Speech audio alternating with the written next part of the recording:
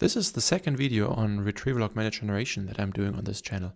That is because there are a lot of new amazing tools that I want to show you. If you have not seen the first video uh, and want to catch up on the basics, I'm going to link it here or here or somewhere here.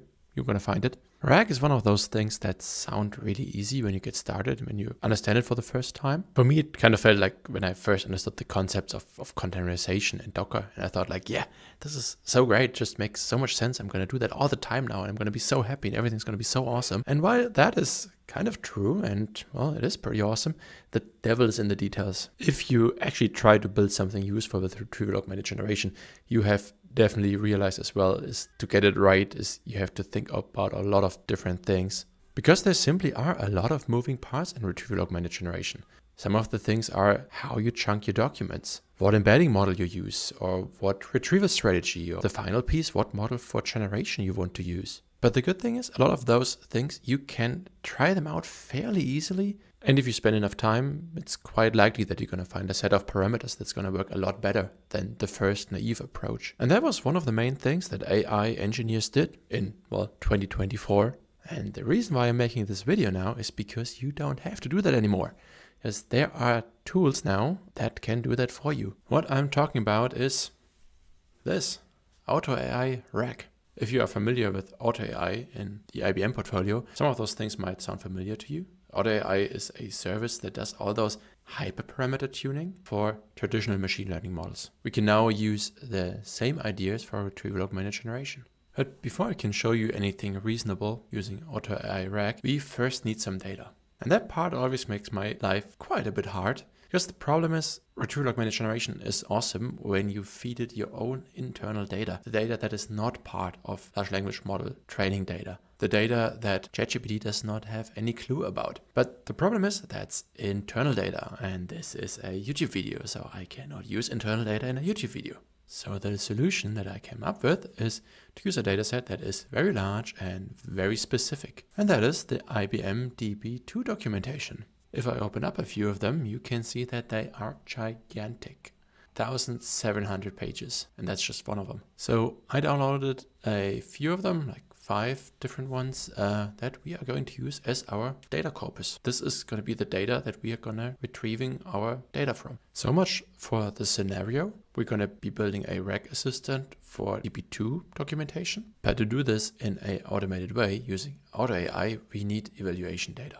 There are many different terms for that. You could also call it golden questions, golden answers, or you can also call it a sample solution or an A plus solution, whatever you want. In the case of AutoAI, it looks something like this. This is a predefined structure and you've got the questions here and then you've got a perfect answer and then you also got the source where this answer is supposed to come from. So in this case, those are, I think, 15 question, no, no, actually nine question and answer pairs. And getting this right is super critical for everything we're going to do next. Honestly, I cheated big time creating this evaluation data. I simply used a large llama model in watsonx and just copy pasted parts of the original documents and had a prompt with something like come up with a answer that can only be an answered with this text following this structure and I just copy pasted this JSON structure into the prompt and it worked decently well to come up with some question and answer pairs that are relevant to that text passage that I pasted in. Doing it that way is fine for a demo, I guess, but in reality, this is where you want to spend your time. Get those question and answer pairs right. You don't want to spend your days doing endless hyperparameter tuning and choosing the best model and the best chunking strategy. You want to spend your time with this. And yes, this does mean getting the subject matter experts together, getting the people that actually know the subject and have them create those question and answer pairs. And yes, this is painful. Yes, this is going to cost a lot of money. And yes, your boss is not going to be happy about it. But that is the sad truth about AI in general. And it just as well applies to Gen AI. Your solution is only going to be as good as the data that you have. But for demo purposes, this will be fine. Okay, back to watsonx. Let's jump into Auto AI. First, we got the choose if you want to build a traditional machine learning model or a RAG solution. Right now, we definitely care about the RAG solution. Let's give it a name, demo live. I'm in a very fresh project here, so I do have to do some setup work, and that is to associate a watsonx.ai runtime service instance. This is pretty simple. There we go, and create. And now it asks us to upload the data. And I'm gonna do that by drag and dropping the whole shebang in there. Doing some uploading. So the whole data ingestion took us like 30 seconds. That was plenty easy. So at this point, there's one major consideration that we have to do. If we just want to try things out and mess around, we'll be fine with the in-memory database. That is a ChromaDB, which just going to exist in the scope of this project, which is going to work fine for all the testing that AutoAI is going to do for us. But if we do it that way, we will not be able to deploy it to kind of make it available to the rest of the world. So what we're going to do now is do it the right way. And that is providing the connection to a externally hosted Milvus database. That part is going to take some effort, but it's not that tricky. I'm going to provide the instruction in the video description and I'm just going to show you the quick rundown here. What you're going to need is just any virtual machine. And in my case, I simply got me a VM on AWS. Obviously, you can do that in the IBM cloud as well, but I just want to show here, like you can literally get that VM anywhere. It, it's completely agnostic. You can put that solution together however you like.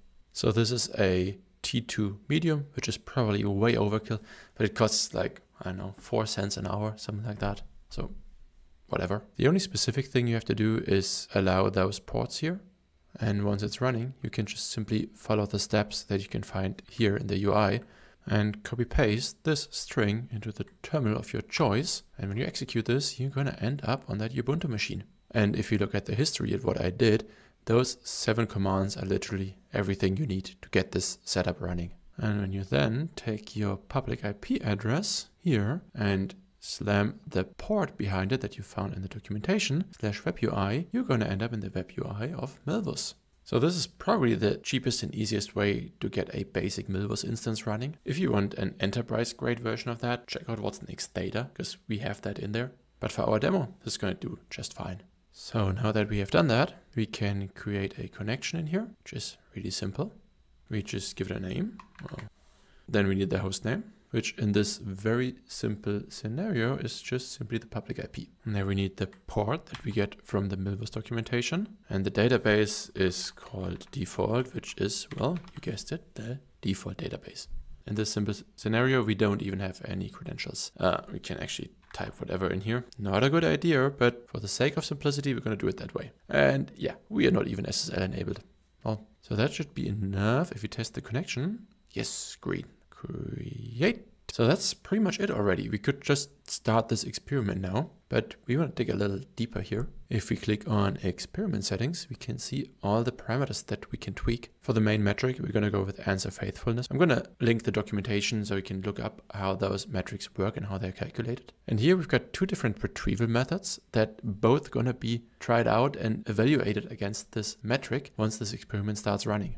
Here we've got the foundation models that are going to be used for the generation. And well, we're going to take out Flan. It's kind of old school. I'm interested in having like a large llama model, a small llama model, and well, I guess Mistral large. Why not? Then we can set the maximum amount of uh, parameter combinations that's supposed to try out. And if you check the indexing, we can do a lot of setup here on the different chunking sizes that AutoAI is supposed to try out for us. But we're going to leave it at default. Those defaults are pretty good actually. And we can also choose if it's supposed to try out different embedding models. Okay, let's save that and run the experiment. This is going to take some time. I mean, it's going to try out a lot of different setups and configurations. But, well, there's literally nothing you have to do. So, this took about 10 minutes or something, and we've got a winner. Llama 318 billion with a Slate 125 million embedding model. AutoAI tried a lot of different combinations here, and there's probably a lot of information if you just if you go through them and really look how each of them performed. But for now, we're just gonna dig a little deeper into the winner. So there's a lot of information here. For example, the design of the chunks. If we scroll down here, we can also see the system prompt, which is interesting. But the most interesting part is down here. Here we can see all of our evaluation questions. And every single one has this nice little pyramid thing where we can see the faithfulness, the correctness, and the context correctness. And we can see the actual answer and compare it to the expected answer. So you can see in that case that it tends to answer a lot more verbosely, but still it's a really nice answer. It's like, it's still pretty concise. And I honestly prefer that answer to our evaluation answer, kind of a question of taste. We can go through all the answers here, which is really interesting. Having those qualitative and quantitative measurements here side by side, that gives you the peace of mind that you need to actually go forward with a setup like this. So now that we are happy with it and we've got all the data that we need to also tell our boss that we're happy with it, we can go forward. That is as simple as go to save as.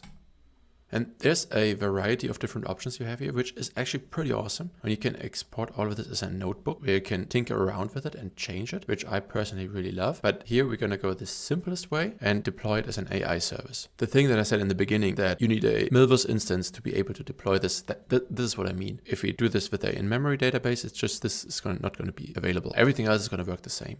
We can just leave that name, prettiest name, doesn't matter. Just create, view it in the project right away.